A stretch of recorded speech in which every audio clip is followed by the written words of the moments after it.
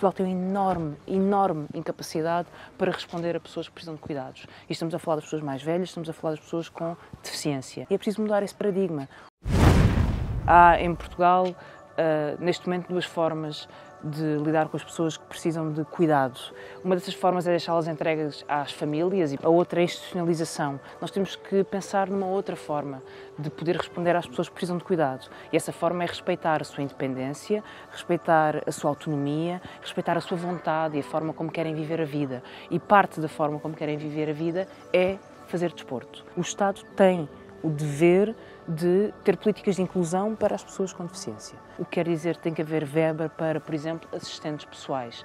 E quem diz assistentes pessoais, falamos também de apoio às práticas desportivas. Tem que ser uma resposta do Estado. É preciso olhar de outra forma para os cuidados e para a forma de autonomização das pessoas com deficiência. Nós queremos, enquanto Bloco de Esquerda, que seja uma resposta universal para que todas as pessoas com mais de 60% de incapacidade possam aceder ao seu assistente para qualquer atividade da vida diária. Muitas dessas pessoas podem e devem ter uma vida autónoma independente e cabe ao Estado assegurar que essa vida pode ser vivida de forma independente e é por isso que insistimos tanto nos assistentes pessoais e na verba para permitir que as pessoas com deficiência que precisam ter assistentes pessoais possam tê-la.